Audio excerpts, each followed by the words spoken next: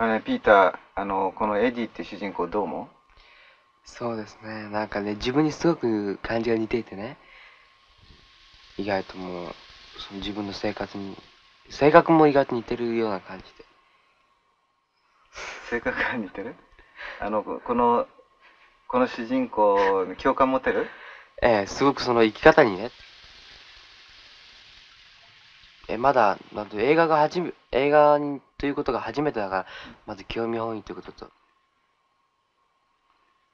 とゲイボーイをもすごくなんか綺麗に描いてくれるっていうことで撮りました。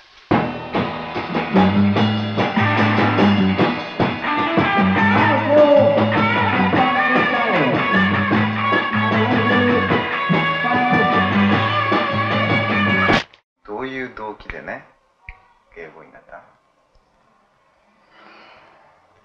やっぱり自分がこういうね女の子になってみたいっていうやっぱり好きだから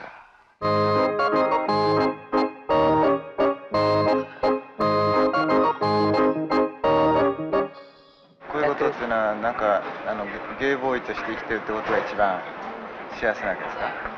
今のところはそうです。